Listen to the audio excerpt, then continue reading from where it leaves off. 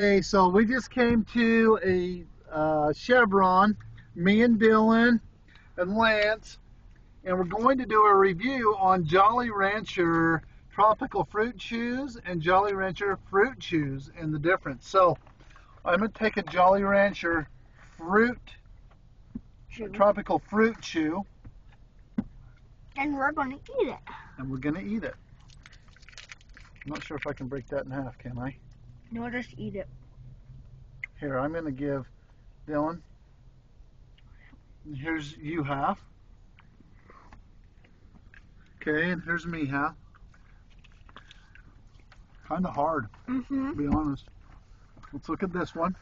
Fruit chews, not the tropical fruit chews. These are pretty tangy. Yeah. Um, Pretty tangy. pretty tropical. Yep. Okay, now let's see the difference between the Jolly Rancher fruit chew and, And- just the Jolly Rancher fruit chew. So this Uh-huh. is a Jolly Rancher fruit chew. Try that. Which do you like the best, Dylan? I would say this one. Why? Has more flavor. More flavor? I agree with that 100%.